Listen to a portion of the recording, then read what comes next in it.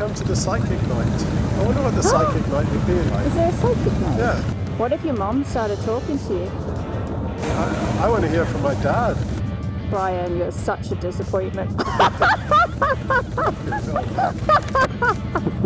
Look who you married. ah, touche.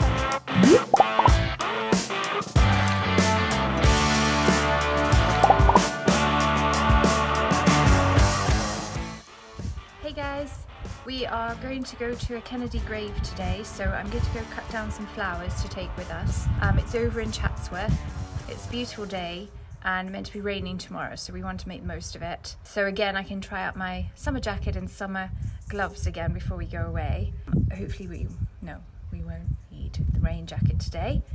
I think it takes about half an hour to get there, 40 minutes. I don't know, it depends how slow we go, to be fair. So I'm going to go cut down some roses now and come with me.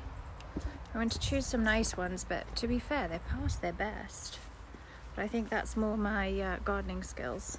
I'm looking on the floor because I don't trim the bushes.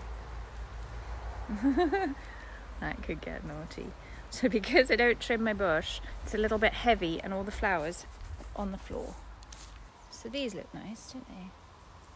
Let's get a good bunch. Oh, it is working. Oh, there they go. I dropped them. Ow! Fucker! Fuck! Fuck! Fuck! Ow! It's ow! Shitting hell! Bloody thought. uh, so we're going to go take these and go put them on the grave. Do you think I need some white flowers to go with? Ah! Fuck! Oh, they're nice. Don't smell of anything. They'll look pretty. Oh yes, they go well. Ah! Fuck! Fuck! Ow, ow, ow. Ow. There, what do you think? Ow. I think I'm going to go wrap it in paper or something because that's really painful. All wrapped up and ready to go now. It's not very elegant.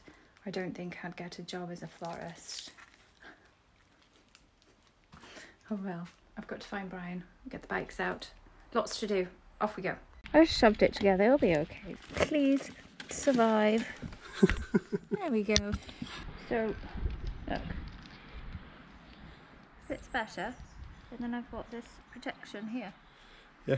And also, you see before it kept twisting, so I was always twisting it. Whereas this is kind of, Nestled in the cleavage. yeah, look, so bending over and everything. Okay, let's let's see. Get it. Dirt. Bending over. What you, oh. Boob cam in and secure. My danglies are okay. That's the wires, by the way.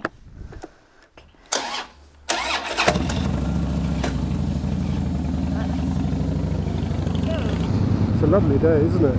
Beautiful. Beautiful. We've been very lucky. Yeah, this is probably our only days of summer though. It's so loud. I think you're either super loud or super soft, but maybe it's just your voice is just really annoying. joking, I'm joking. Joking. joking. Oh, this jacket is cool. Is it you good? know, it's, it's just, it's not when you stop.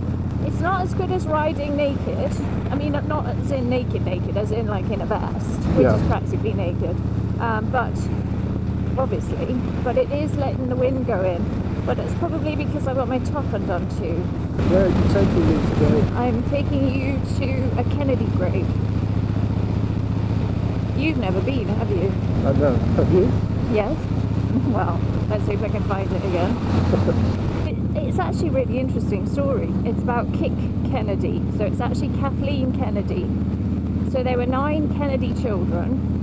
Yeah. and Joe Jr. was the eldest. Then John F. Kennedy, that became president, who became president. Then there was Rosemary, and then Kathleen, who was Kick, and she's the what the story's about. She's who the story is about. So this is JFK. JFK, yeah, that's it's called about.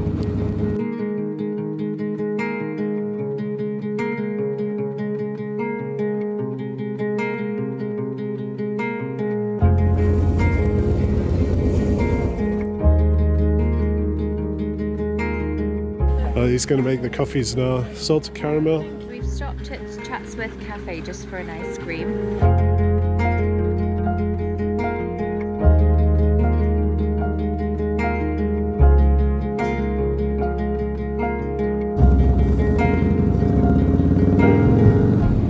How come the Kennedy's grave is here then?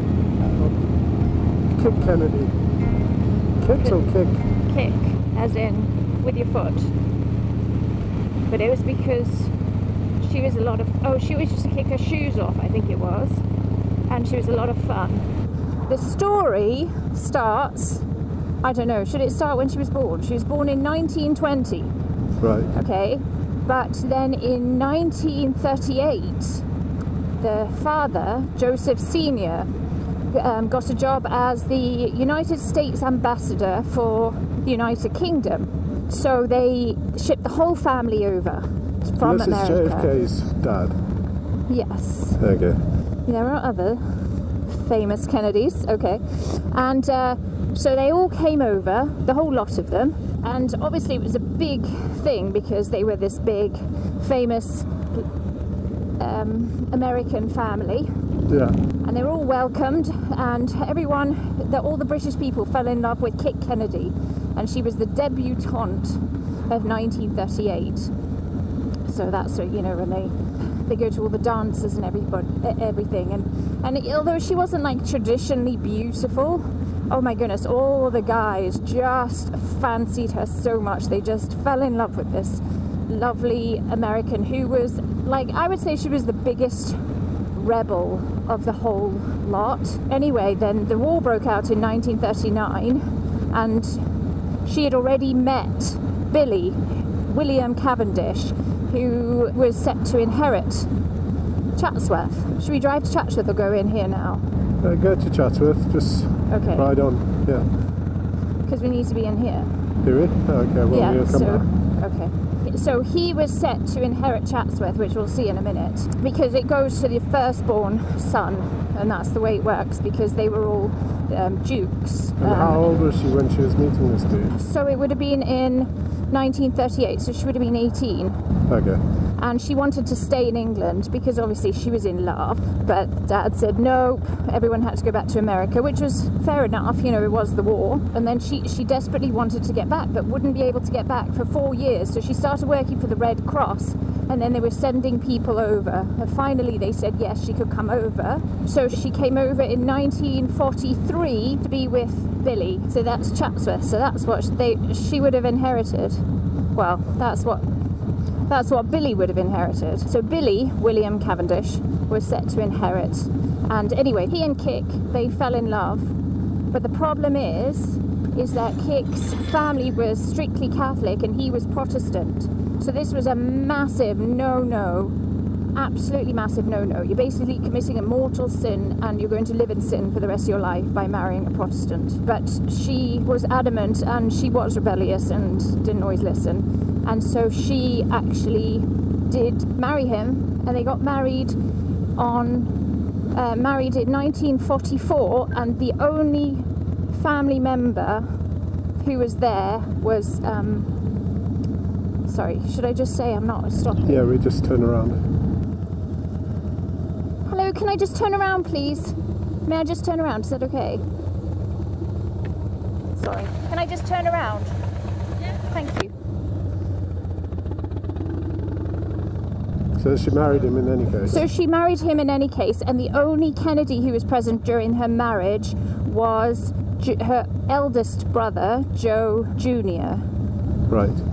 So it was Joe Jr., then it was JFK, as we know, then it was Rosemary, and then it was Kathleen or Kick Kennedy.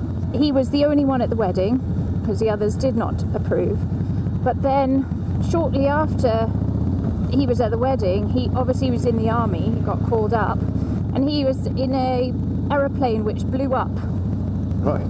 so he died shortly after they got married, and then five weeks Oh, after Billy, the not not Joe. Billy. no Joe died. Uh, Joe, died. Yeah. His plane blew up, Okay. and then Billy got called up to go to the army five weeks after they were married, Yeah. and then a few months later he was dead in Belgium. He was shot in the it shot in the heart by a German sniper, apparently. Oh, right. Um. So so she was only married for a few months. So you got to think they met in 1938. They were still in love. All that distance, you know, having a distant relationship for all those years yeah. then coming over, finally being able to get married, and then a few months later he was dead. And she didn't want to go back to America, she wanted to stay in England, which she did. And then a few years later, she met this Peter Fitzwilliam, who was an earl. I- I'm really surprised actually she ended up with him because Billy was very shy and kind of quiet apparently.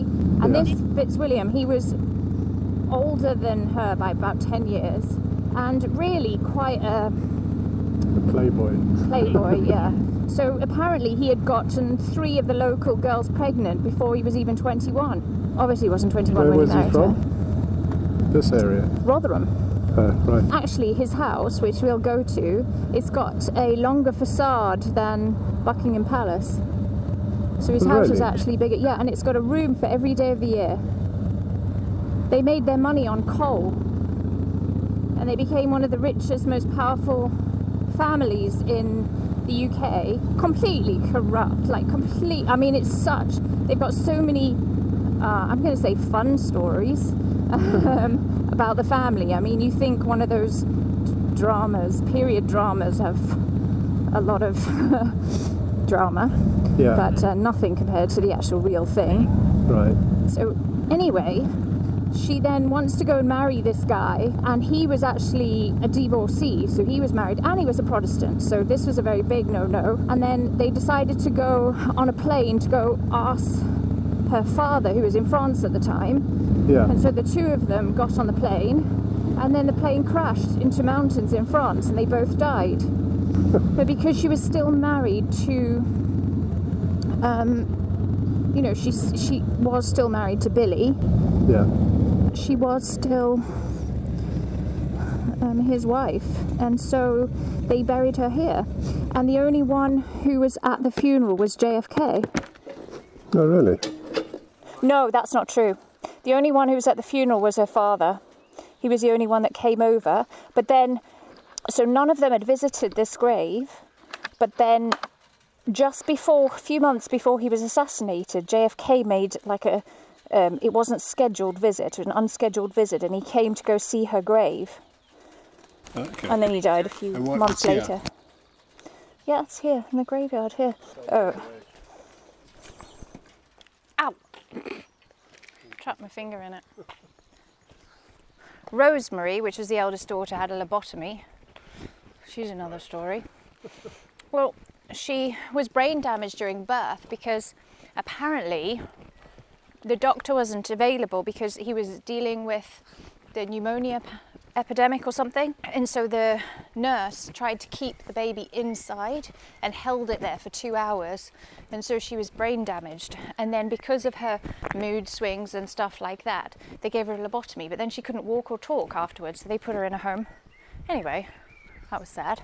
So, out of the nine Kennedys, obviously JFK and Robert were assassinated. The eldest Joe was killed in the plane crash. Ted was in a plane crash. Rosemary had a lobotomy, and Kick died in a plane crash. So, pretty well, I guess that's why one of them, I think it was Ted, said that there was a, a curse on the Kennedys. You can see why. And then a whole number of the next generation had issues, but I think it's more issues with money because it was drug, a couple of drug deaths. Why are you laughing? Anyway, oh, you have ended up with it. I've got the flowers. They've lasted okay, a little bit wilty, but not too bad. So we have to go to the top. So there's the church, and the family graves are actually at the top, up here. Oh, it's old, isn't it? Yeah, it is old. Almost there. I have to remember which one it is. It's nothing fancy, by the way. It's very simple. Right, where is it again? Here it is. Yeah, so she was 28. the widow of Major, hang on, Major, the Marquis of Hartington, killed in action, and daughter of the Honourable Joseph Kennedy, sometime ambassador of the United States to Great Britain. Joy she gave, joy she has found. And then on this says, in memory of John F. Kennedy, President of the United States of America, who visited this grave 20th of June 1963, and then he was assassinated a few months later. So I'm just going to put, uh, hang on, I'm going to put this in. I just want to unwrap it. So I don't think they want tin foil.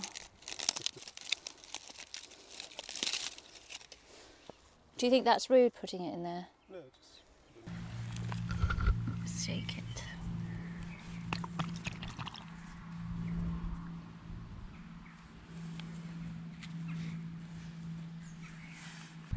What does it say there? In memory of. It's got efforts and courage are not enough without purpose and direction, JFK. I think we need to put a new American flag on. See, it's not a fancy grave. In fact, I th- none of them are particularly fancy. And it's all the way up here. So it's actually a ra- rather large graveyard, considering it's a teeny, teeny, tiny town. But I guess it's been many, many years. And the family ones are all up here. But I don't think, you know, I've been to a lot of graveyards and there's been some really fancy gravestones and plots, but it's not, and I, I like that. So, what we, what were you asking? her husband's grave. So Billy was killed in Belgium, so his grave is in Belgium. So do you know what? Apart from obviously the ones that that died in uh, you know in the war and things, they do tend to live a good long life, which is lovely. Always a glider up there. So yeah, this is just the story. See some of them up here. There's Henry George Cavendish, 1873.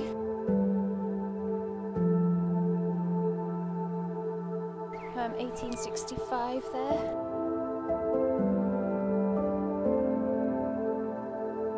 That's William Spencer Cavendish, 6th Duke of Devonshire.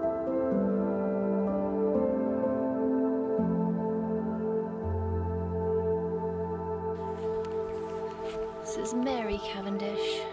Love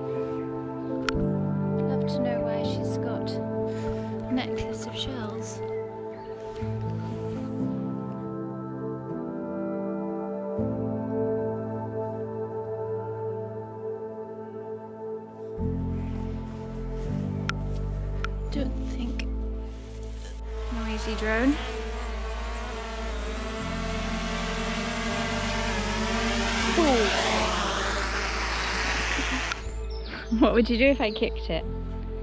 You kick me. Oh, it looks like a dead frog there. It's not a dead frog. No, but it does though, doesn't it? When you run over the frogs and they go kind of hard and crusty in the sun. No? It's not what you expect in terms of you don't expect a Kennedy to be here. And secondly, it's not all big fancy bells and whistles and it's just it's nice. Peaceful. So JFK actually came here. Yeah, JFK came here. Shows you there. Came here 20th of June 1963, just before he died. And the thing is, Kathleen and JFK were actually very close. But JFK was a very sickly person. He was very ill his whole life. He was very, very ill. I mean, I think he almost died a good few times. I think it must have been very, very hard for him to have lost his sister. I think it was hard for all of them because she was such a vivacious character, and to have lost her like that would have been terrif- terrible. So, yeah, not great. Okay, we're going to go off now. Say goodbye to Kathleen. Oh, I've got my sunglasses here. So, say goodbye to Kathleen, and then we're going to go back, ride back home. Yeah, hopefully you enjoyed it. If you did, like and subscribe. To the Cheese Fest. Like and subscribe! Yeah, you gotta do it. Otherwise no one does it. Ah, if they want to watch us, they watch us. If they don't, they don't. Are just having fun. I get to see things which I didn't normally do. Yeah, do you know what? That is fun. You get to. I've come out here. Would you have come out here? No. Well, that's the thing, is it? Isn't it? Because I've been out here. Would you have come dragging, with me? dragging me through a graveyard. oh, trying to- that's nice. You're walking next to me. Trying to earmark a spot for me, are you? You wouldn't be allowed in here. True. I'm not noble enough. No, it's not noble. you oh, don't no. live in the village. But also, I, I am related to Lord Man. Oh, so here we go again. Illegitimate don't count. Just quite a cool saying. Yeah, I'll change the subject. There's a family secret for you. Can't say those things about me. Why? I've had a hard life already. Oh, yeah. Hmm. Married to me. Is this functional? Functional. I assume so, darling. Do you want to go in? Do you know what? The whole village was actually moved once. So one of the dukes, he didn't like where the village was, so he picked it all up and moved it because he didn't want to see it from the house. Yeah, in the big old Chatsworth house. And he didn't like to see the village, so he moved it up the road. Didn't want to see the riffraff. that's crazy. It is crazy. Too much money, I would say. But if they married well, they did things to the house. And if they didn't marry well, obviously they it was leaner years. Riding the boy. There are the bikes. Look how beautiful. Right, I'm going to go now. So we're going to go ride now because they're the bikes. Looking all good in the sunshine. We're going to go. Bye bye. So apparently I've been riding without my seat on. You see there? Yeah. That clips in there. Oh, you see, I just plonked it. Whoops. Do you know why? I actually preferred it undone. how? Well, because when I stopped, it was higher up, and it just felt better. no, I'm joking. It just was comfortable. so I've already got my um. Your reputation. in it- no, I've already. already said. I was like, oh, because I don't trim my bush. When did you say that? but I was cutting the rose bush.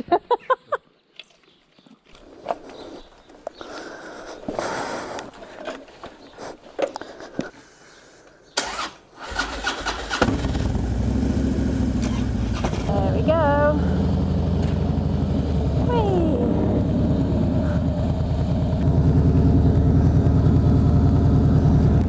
And you were talking about a lobotomy. What were you going to say?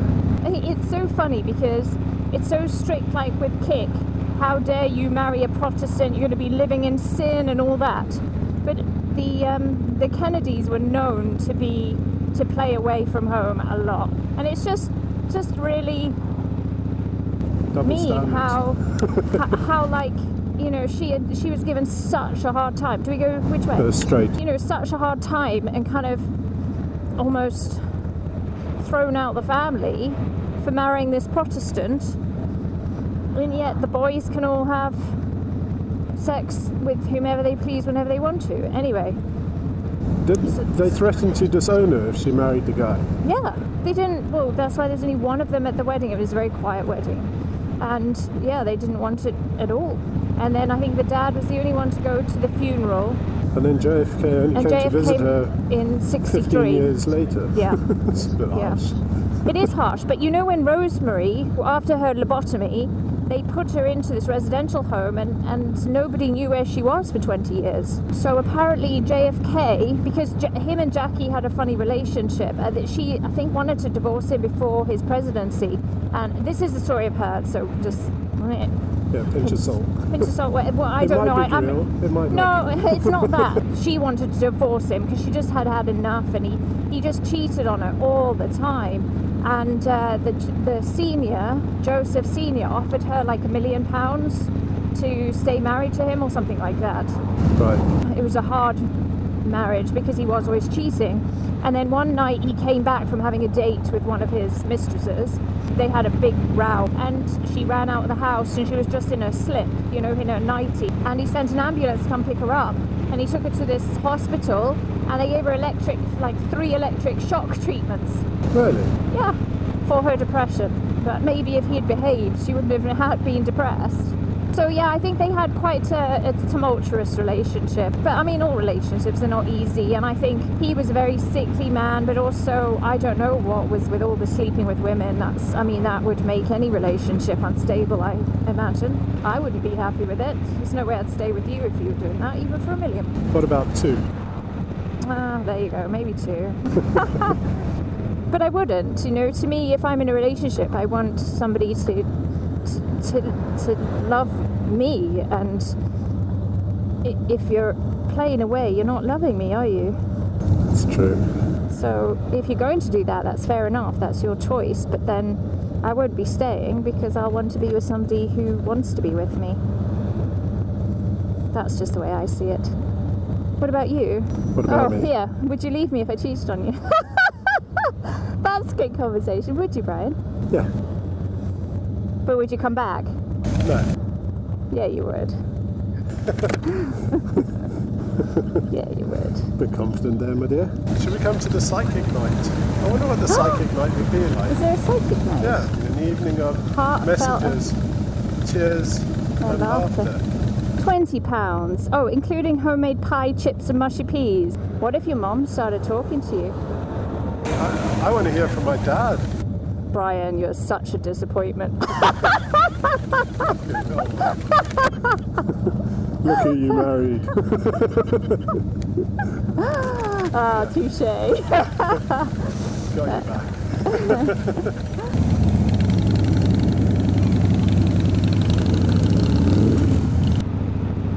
Are my panniers shut? They See, are. no, normally, you know, because I've left my panniers open so often um, since getting the bike, I now do a routine where I have to knee them. oh, what, you need them shut? Give Yeah, them a good old ram. yeah. Fair enough. I was going to say I've got more stories about the the Fitzwilliams, but I think that, that that's a vlog on itself because that that's a really fascinating story. Plus, they were the motorbike training in for the war. Oh, were they? Yeah. Oh, well, So- there you go. It's actually a really amazing story. It, it will take ages to tell the stories because they are so good. So we can do the motorbike thing, and um, I'll, I'll actually contact them because they're trying to get famous again, like Chatsworth. Woo! Fun road. Right, we're almost home. So uh, thanks for joining us today. Oh God, I hate this. Right, we're almost home Like and subscribe. like and subscribe. Why make me do this cheesy stuff? No, I hate it. Blow them a kiss. Mwah. Ah. Bye. You big old cheese ball, you.